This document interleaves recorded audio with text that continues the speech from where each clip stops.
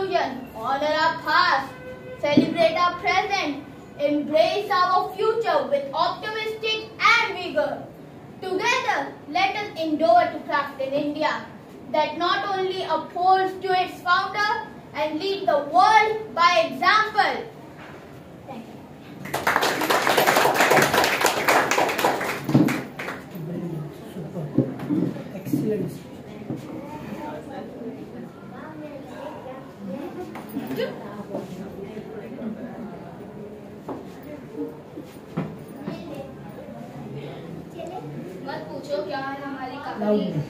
ना पूछो क्या है हमारी कहानी बस इतना ही काफ़ी है कि हम है Hindustani respective principal teacher beloved audience and all my dear colleagues I am Abhishek बहन मेरा student of nursing school I study in seventh standard As we gather under the tricolor flag against the azure sky, we are reminding the immortal words of Jawaharlal Nehru at the stroke of midnight hours when the world sleeps.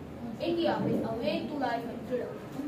This day, etch the annals of history, mark the devotion of countless sacrifices and brave determination. And then, indomitable spirit. 77 years ago, our great nation broke the shackles of colonial rule and emerged as a sovereign entity.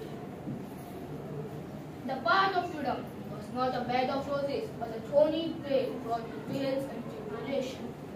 Our forefathers, armed with the non-violence and the weapon of truth, fought valiantly enjoying the sentiment of Mahatma Gandhi. Strength does not come from physical capacity, it comes from indomitable will.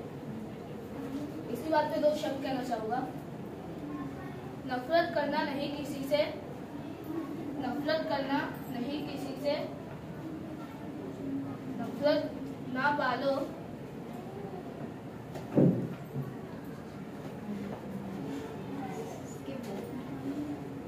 as one as we march forward as we stand on the shoulder of giants like Bhagat Singh, Subhash Chandra Bose and Sarojini Naidu.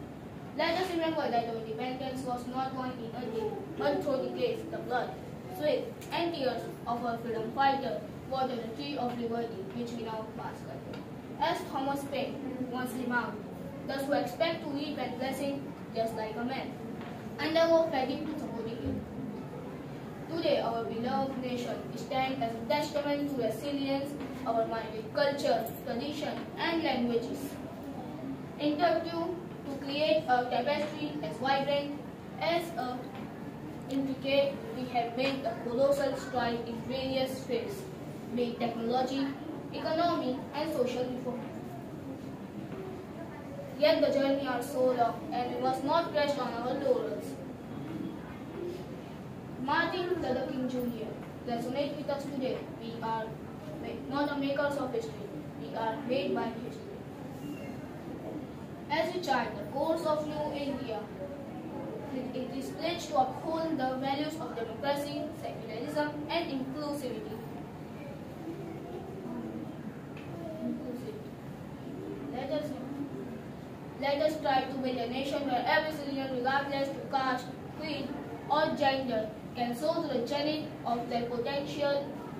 Let us heed to advise the Swami Vivekananda, arise, awake, not till the world is reached. In, conclusion, our past, celebrate our present, embrace our future, and optimize and vigor.